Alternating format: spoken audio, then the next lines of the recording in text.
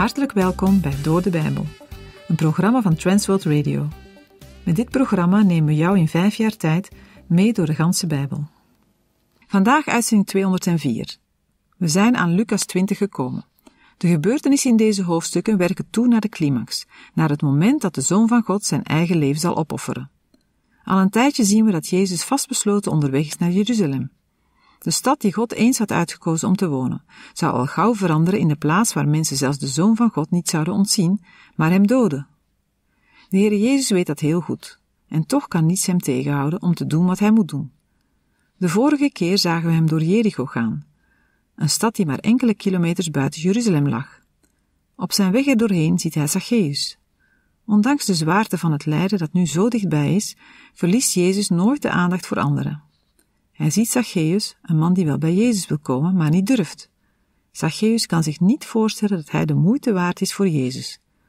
Maar Jezus kijkt anders naar mensen. Hij staat stil en spreekt Zacchaeus aan. Op zijn weg naar het kruis neemt hij de tijd voor deze ene man. Zacchaeus is vanaf die dag een nieuw mens. De Heer Jezus vertelt de mensen nog een gelijkenis om hen duidelijk te maken dat Gods koninkrijk nog niet in tastbare vorm zal komen, want nu hij dicht bij Jeruzalem is, verwachten velen dat hij koning zal worden. Nu is hij echter gekomen om te lijden en te sterven. Hij wordt als koning binnengehaald op een ezelsveulen. Mensen juichen hem toe als hij Jeruzalem binnenrijdt. God wordt enthousiast geprezen door de massa's. Maar wanneer Jezus Jeruzalem ziet, huilt hij. Deze stad is Gods oogappel, maar ze wil de vrede van God, die in Jezus Christus te vinden is, niet aannemen. En hij, Gods zoon, ziet de prijs die de stad voor die verwerping zal betalen. Vijanden zullen Jeruzalem innemen en er niets van overlaten. Wat had de Heere Jezus dat graag anders gezien? Hij was gekomen om Jeruzalem vrede en redding te bieden, maar ze wilden het niet aannemen.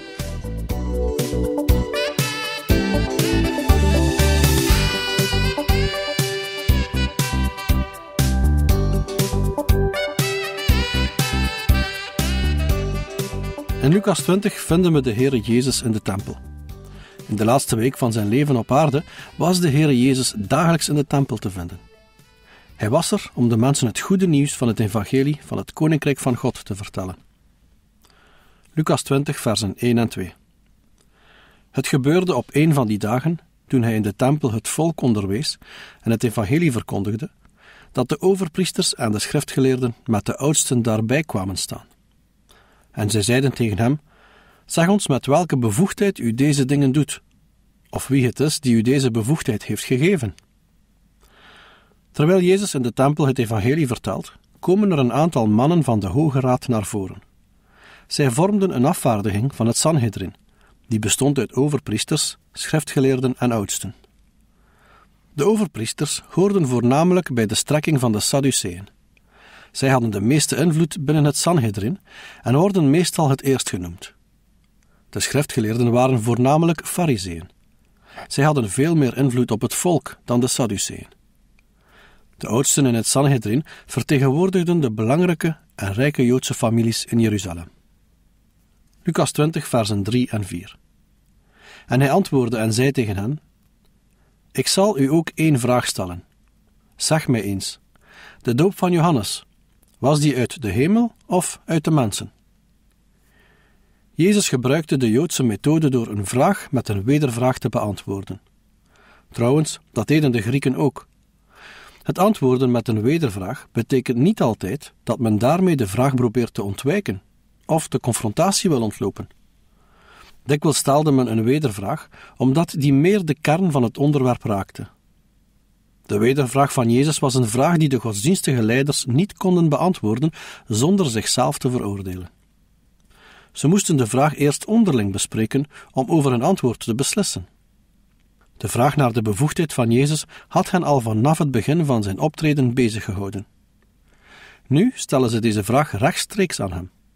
Maar zij waren verbaasd over wat hij hun leerde, want hij sprak als iemand met gezag, die wist waarover hij het had.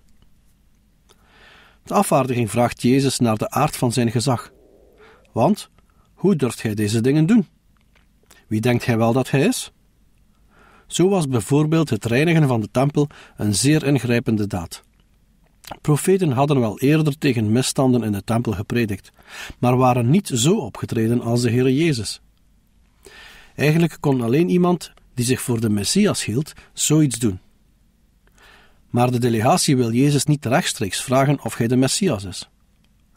Ook om de verwachtingen bij het volk niet aan te wakkeren. De vraag die Jezus stelde was geen strikvraag. Hij vraagt hun naar de bevoegdheid van Johannes de Doper, omdat de bediening van Johannes zo nauw verbonden was met zijn eigen bediening. Wie de een gelooft, moet de ander ook geloven. De doop van Johannes de Doper vat heel zijn bediening samen. Het was de doop der bekering tot vergeving van zonden. In Lucas 3, vers 3 staat over Johannes de Doper: En hij kwam in heel de omgeving van de Jordaan en predikte een doop van bekering tot vergeving van zonden. Door zich te laten dopen, konden de mensen tonen dat zij dat echt wilden. Hun zonden zouden dan ook vergeven worden. Met de doop van Johannes gedoopt zijn is hetzelfde als zijn boodschap aannemen. In Lucas 7, versen 29 en 30 hebben we gelezen: En heel het volk dat naar hem luisterde, en de tollenaars, die met de doop van Johannes gedoopt waren, rechtvaardigden God.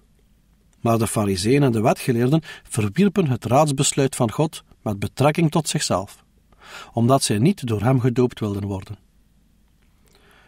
Met andere woorden, de fariseeën en schriftgeleerden keurden het plan van God af en wilden zich niet door Johannes laten dopen. De doop van Johannes was bekend. Veel mensen waren erbij geweest.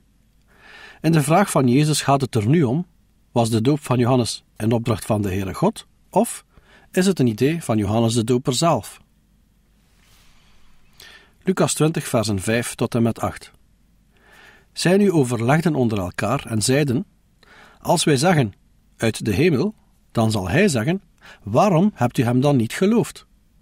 Maar als wij zeggen uit de mensen, dan zal heel het volk ons stenigen, want het is ervan overtuigd dat Johannes een profeet was. En zij antwoordden dat zij niet wisten van waar hij was. Daarop zei Jezus tegen hen: Dan zeg ik u ook niet met welke bevoegdheid ik deze dingen doe. De Joodse leiders weten dat, wanneer ze zeggen dat zijn bevoegdheid van God komt, Jezus dan zal reageren met de vraag waarom ze hem dan niet geloofd hebben. Waarom hebben ze dan niet geloofd dat hij door God gezonden is? en zijn boodschap niet aangenomen als Gods woord. In Johannes geloven betekent dan ook gehoor geven aan zijn boodschap. Dat wil zeggen zich bekeren en zich laten dopen. Maar we hebben net gelezen in Lucas 7 dat de fariseeën en schriftgeleerden het plan van God afkeurden en zich niet door Johannes wilden laten dopen. Hadden zij wel naar Johannes geluisterd, dan hadden ze ook zijn getuigenis met betrekking tot de Heer Jezus aangenomen. In Lucas 3, vers 16 had Johannes gezegd dat er na hem iemand komt die belangrijker is dan hijzelf. Als zij Johannes hadden geloofd, zouden ze nooit aan de bevoegdheid van de Heere Jezus hebben getwijfeld. Ten slotte zeiden ze dat ze het niet wisten. Jezus antwoordde daarop dat hij dan ook geen antwoord op hun vraag zal geven. Het is duidelijk dat hun valstrik mislukt is. Als de Joodse leiders geen uitspraak willen doen over de herkomst van de doop van Johannes, dan laat Jezus zich ook niet dwingen tot een uitspraak over zijn eigen volmacht. Voor wie oog heeft voor wat hij doet, is het duidelijk wie hij is en van wie hij deze bevoegdheid heeft ontvangen. In het schijnbaar ontwijkende antwoord dat Jezus geeft, zit wel degelijk een antwoord op hun vraag naar zijn bevoegdheid. Wat de Heere Jezus ook zou hebben gezegd, de Joodse leiders wilden zijn onderwijs niet accepteren. Op oprechte vragen heeft Jezus wel altijd antwoord gegeven. Lucas 20, versen 9 en 10. En hij begon tot het volk deze gelijkenis te zeggen. Iemand plantte een wijngaard en verhuurde die aan landbouwers en ging een tijd lang naar het buitenland. En toen het de tijd was, stuurde hij een slaaf naar de landbouwers, opdat ze hem een deel van de opbrengst van de wijngaard zouden geven. De landbouwers echter sloegen hem en stuurden hem met lege handen weg. Zeer waarschijnlijk spreekt de Heer Jezus deze gelijkenis op het terrein van de tempel. Ook al heeft Jezus niet rechtstreeks geantwoord op de voorgaande vraag, hij laat het thema nog niet los, maar geeft een gelijkenis. Zullen de Joodse leiders het begrijpen? Zoals de knechten en de zoon uit de gelijkenis door de eigenaar gezonden zijn, zo zijn ook Johannes de Doper en de Heer Jezus zelf door God gezonden. Bij de wijngaard denken Joodse mensen aan hun eigen volk, vanwege het lied van de wijngaard uit het Oude Testament. In Jesaja 5 vers 7 staat, want de wijngaard van de Heere van de legermachten is het huis van Israël. En de mannen van Juda zijn zijn lievelingsplant. Hij verwachtte goed bestuur, maar zie, het werd bloedbestuur. Gerechtigheid, maar zie, het werd geschreeuw. In Jezaja levert de wijngaard niets op. Er zijn geen vruchten. In de gelijkenis van de Heer Jezus zijn het de boeren aan wie de wijngaard verhuurd is, die slecht handelen. Wanneer de wijngaard wijst op het volk Israël, dan moeten we bij de boeren denken aan de leiders van het volk. Zo vatten de leiders het ook op. De eigenaar in de gelijkenis verhuurde de wijngaard aan wijnboeren. Daarna reisde hij weg. De eigenaar zond, op de tijd van de oogst, een knecht naar de pachters om zijn deel van de opbrengst, dat volgens het contract voor hem was, in ontvangst te nemen. Er ging vier jaar voorbij voordat een wijngaard een redelijke hoeveelheid druiven voortbracht. In plaats dat de pachters de knecht het afgesproken aandeel meegeven, slaan ze hem en sturen ze hem met lege handen terug. Maar de eigenaar van de wijngaard blijft knechten naar de boeren sturen. Eén voor één worden de knechten geslagen en afgeranseld. Zo was het ook gegaan tussen de Heere God en zijn volk Israël. Hij zond profeet na profeet, maar ze werden afgewezen of vermoord. Ten slotte zond de eigenaar, de Heere God, zijn zoon, Lucas 20, versen 13 tot en met 15. En de heer van de wijngaard zei: Wat zal ik doen? Ik zal mijn geliefde zoon sturen.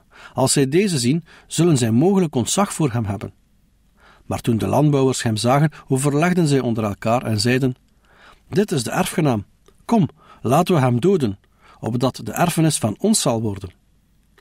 En toen ze hem buiten de wijnhart geworpen hadden, doden ze hem. Wat zal dan de Heer van de wijnhart met hen doen? Jezus Christus is de Zoon, en hij vraagt aan deze Joodse leiders wat de eigenaar nu zal doen.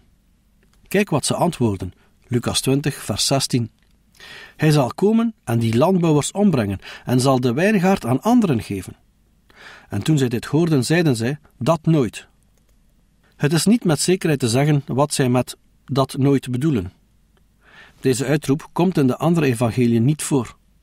Waarschijnlijk is het een reactie van het volk op de hele gelijkenis, en vooral op de climax ervan.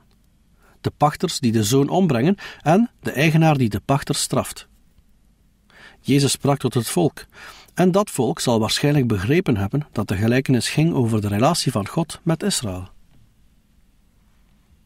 Lucas 20, versen 17 en 18.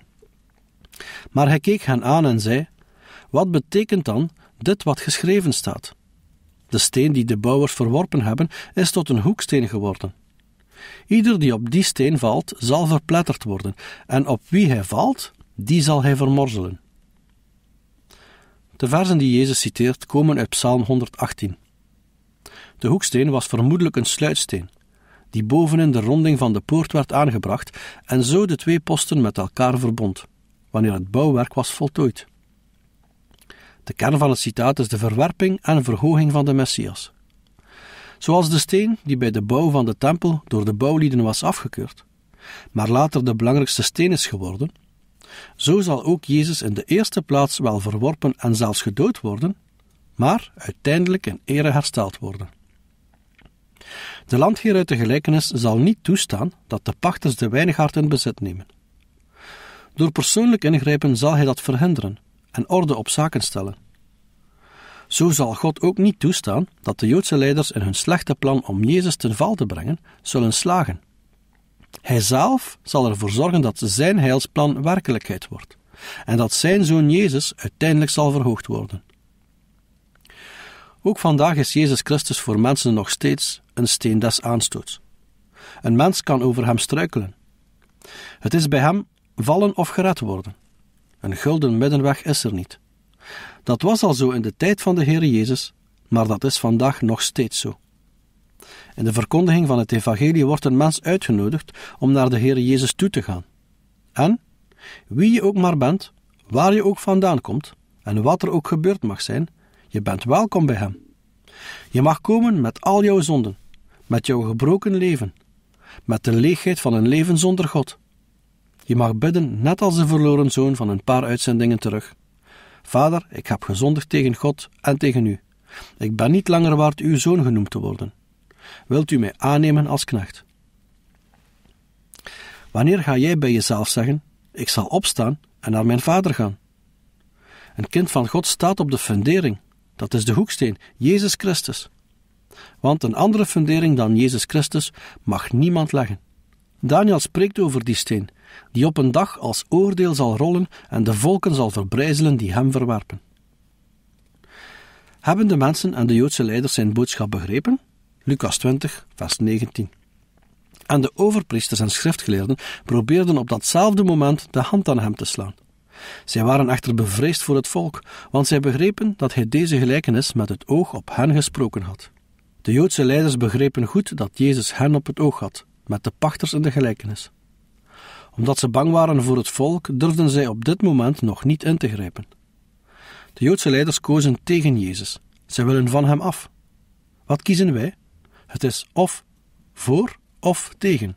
Een middenweg bestaat niet. Lucas 20, versen 20 tot en met 26. En zij hielden hem nauwlettend in het oog en stuurden spionnen die zich voordeden alsof zij rechtvaardigen waren, met de bedoeling hem op een woord te vangen en hem dan over te leveren aan de overheid en aan de macht van de stadhouder. En zij stelden hem een vraag en zeiden: Meester, wij weten dat u juist spreekt en onderwijs geeft en niemand naar de ogen ziet, maar de weg van God naar waarheid onderwijst. Is het ons geoorloofd de keizer belasting te betalen of niet? En hij merkte hun sluwheid en zei tegen hen: Waarom verzoekt u mij? Laat mij een penning zien. Van wie is het beeld en opschrift? Zij antwoordden en zeiden: Van de keizer. En hij zei tegen hen: Geef dan aan de keizer wat van de keizer is, en aan God wat van God is. Zij nu konden hem tegenover het volk op zijn woord niet vangen, en zij verwonderden zich over zijn antwoord en zwegen.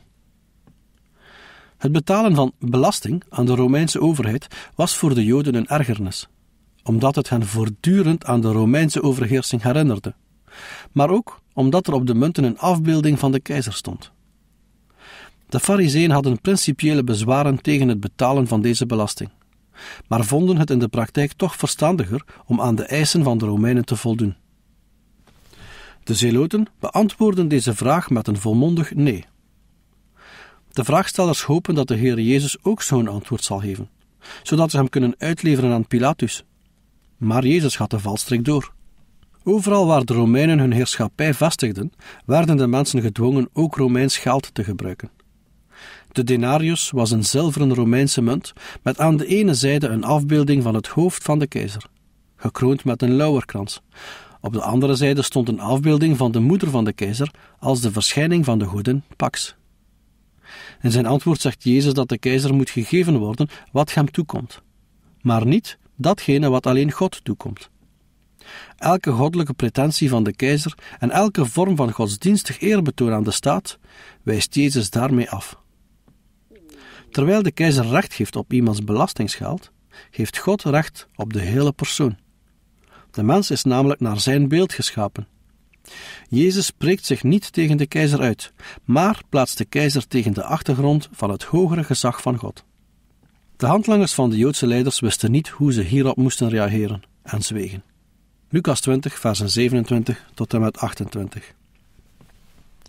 En sommigen van de Sadduceeën, die ontkenden dat er een opstanding is, kwamen naar hem toe en vroegen hem en zeiden: Meester, Mozes heeft ons geschreven als iemands broer die een vrouw heeft sterft, en deze sterft kinderloos, laat dan zijn broer de vrouw nemen en nageslacht voor zijn broer verwekken.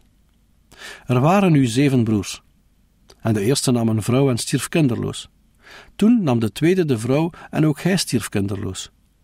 Ook de derde nam haar en evenzo alle zeven. Zij lieten geen van allen kinderen na en zijn gestorven. En tenslotte stierf na allen ook de vrouw. In de opstanding nu, van wie van hen zal zij dan de vrouw zijn? Want die zeven hebben haar tot vrouw gehad. En Jezus antwoordde en zei tegen hen: De kinderen van deze wereld trouwen en worden ten huwelijk gegeven. Maar zij die het waard geacht zijn die toekomstige wereld te verkrijgen, en de opstanding uit de doden zullen niet trouwen en ook niet een huwelijk gegeven worden, want zij kunnen niet meer sterven, omdat zij gelijk zijn aan engelen. En zij zijn kinderen van God, omdat zij kinderen van de opstanding zijn. En dat de doden opgewekt zullen worden, heeft ook Mozes duidelijk te kennen gegeven bij de doornstruik, toen hij de Heere de God van Abraham, de God van Isaac en de God van Jacob noemde. God nu is niet een God van de doden, maar van de levenden, want voor hem leven zij allen. De Joden in de tijd van de Heere geloofden in grote meerderheid in de opstanding. Zij vonden het vanzelfsprekend dat het huwelijksleven zich na de opstanding zou voortzetten. De Sadduceeën willen nu met dit voorbeeld laten zien hoe ongeloofwaardig de gedachte van de opstanding van de doden is. Ze besluiten hun verhaal met de vraag van wie van de zeven broers deze vrouw de echtgenote zal worden in de opstanding. Maar Jezus zegt dat zij in de nieuwe wereld niet meer zullen trouwen, dat zij niet meer kunnen sterven. Wat dat betreft lijken zij op engelen. Zij zijn kinderen van God, kinderen die uit de dood zijn opgestaan. Door naar de engelen te verwijzen, laat Jezus de Sadduceeën weten dat hun leer, dat er geen engelen bestaan, ook een dwaling is.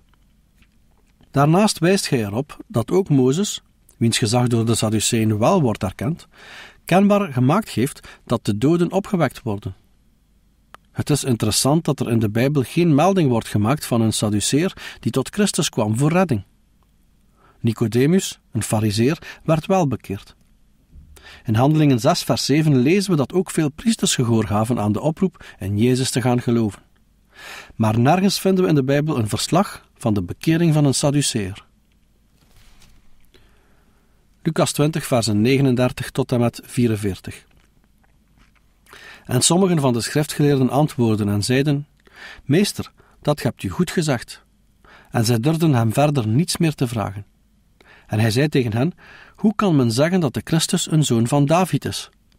David zelf zegt namelijk in het boek van de Psalmen: De Heere heeft gezegd tegen mijn Heere: Zet aan mijn rechterhand, totdat ik uw vijanden neergelegd heb als een voetbank voor uw voeten. David dan noemt hem zijn Heere. En hoe kan hij dan zijn zoon zijn? Hier is het dat Jezus zijn eigen maagdelijke geboorte leert. Hoe kon David, in Psalm 110, waar hij spreekt over een toekomstige nakomeling, zijn eigen achter-achter-achterkleinzoon zijn Heere noemen? Wel, de enige manier waarop hij hem zijn Heere kan noemen, is als hij de Heere is. De enige manier waarop hij de Heere kan zijn, is door meer te zijn dan Davids zoon. Hij moet maagdelijk geboren zijn om de zoon van God te zijn. Lucas 20, versen 45 tot en met 47. En ten aanhoren van al het volk zei hij tegen zijn discipelen: Wees op uw hoede voor de schriftgeleerden, die in lange gewaden rond willen lopen en zeer gesteld zijn op begroetingen op de markten, de voorste plaatsen in de synagogen en de ereplaatsen tijdens de maaltijden, die de huizen van de weduwen verslinden en voor de schijn lange gebeden doen. Zij zullen een zwaarder oordeel ontvangen. Hier lezen we de publieke aanklacht van Jezus tegen de godsdienstige leiders. In Matthäus 23 wordt die uitvoeriger beschreven. Jezus spreekt zijn aanklacht uit in de tempel, het bolwerk van zijn tegenstanders. De godsdienstige leiders waren op de plaats van het gezag. Zij moesten toezien op de juiste uitleg van het Oude Testament. De mensen keken naar hen op. Zij moesten de waarheid handhaven. Maar de schriftgeleerden en fariseeën hielden ervan op hun recht te staan. En zo wilden ze ook erkend worden. Ze hielden ervan zich te onderscheiden van het gewone volk en hun hoge positie te benadrukken. Al deze misbruiken kunnen we helaas ook nog vandaag in christelijke kringen terugvinden. Maar vergeet niet, net zoals Jezus het toen doorhad, heeft hij het ook vandaag door.